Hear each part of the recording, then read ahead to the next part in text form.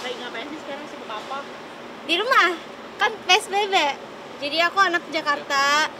Anak Jakarta kan lagi psbb ketat. Jadi ya di rumah. Kalau nggak kerja ya di rumah. Menikmati nggak sih aku nikmat. Karena aku lagi suka banget kayak uh, apa ya kayak di rumah kayak ganti warna tembok ngecat sendiri terus beli barangnya, terus bikin sendiri gitu. Pikiran pengen ke Jepang atau Sebenarnya aku pengen ke Jepang, tapi kan kalau ke Jepang kan aku pasti dua minggu karantina di sana. Dan balik ke sini pun aku dua minggu karantina kan, berarti ya total satu bulan atau dua bulan aku nggak bisa kerja gitu kan. Jadi ya mau nggak mau aku nggak bisa belum bisa ke Jepang. Cuman ya semoga aku nanti bisa ke Jepang dan semoga yang PSBB juga semoga udah cepat selesai, virus juga cepat selesai. terakhir kapan? Eh, Terakhir aku bulan April ya. bulan April kemarin. Seperti apa mungkin eh, protokol di sana dan dari sini sana agak Ada perbedaannya nggak? Sebenarnya sih sama aja sih, ya. cuman di Jepang juga ya sama aja kayak virus. Cuman kalau di Jepang udah mulai beraktivitas biasa, jadi gak begitu ketat banget gitu. Tapi kalau di Indonesia kan mungkin masih kena virusnya kan masih banyak, jadinya kan masih ketat. Jadi ya bedanya cuma itu aja sih. ada kesulitan nggak sih eh, dalam arti ya ada beberapa yang kayak ditahan atau seperti apa di sana atau dari datang ke sana sini Enggak sih. Hmm. Kalau udah cek badan semua, udah tes semua, bisa kok aman aja.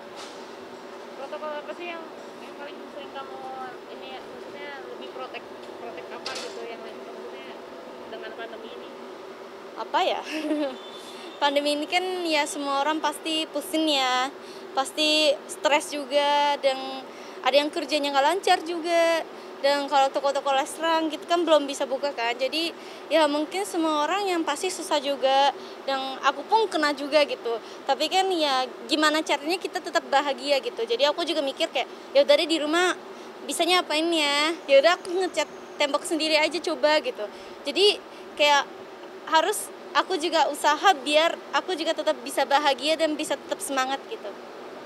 Itu iseng banget ngecat ngecat tembok apa emang pengen ganti apa gimana? Ah, tadinya kan pengen ganti cuman kan gak mungkin sekarang panggil tekan orang tekan yang kayak ngecat gitu kan. Jadi siapa tahu aku bisa sendiri gitu. Kalau emang jelek ya udah nanti kalau udah bisa panggil orang ya panggil aja gitu. Cuman kan aku iseng-iseng cuman hasilnya tuh lumayan bagus gitu. Jadi ya udah aku kayak tetap ngecat sendiri. Pegel nggak?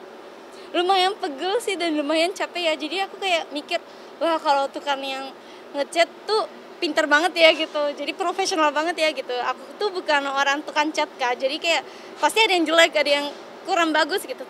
Tapi ya udah gak apa-apa gitu. Aku tetap senang dan aku tetap bahagia gitu sendiri ngecatnya apa ada yang bantuin? Aku sendiri benar-benar sendiri. Jadi lumayan capek sih tapi lumayan ngisi waktu ya daripada bosen duduk nonton TV atau gimana kan daripada bingung mau ngapain mendingan ada kerjaannya gitu. Selain ngecat mungkin bener-benerin apa kayak tukang gitu? Aku sering chat hmm, beli barangnya kayak buat meja make up gitu kan. Tapi kalau pesen kan pasti datangnya kan kayak pisah-pisah gitu kan. Jadi aku bikin sendiri kayak dipasang-pasang gitu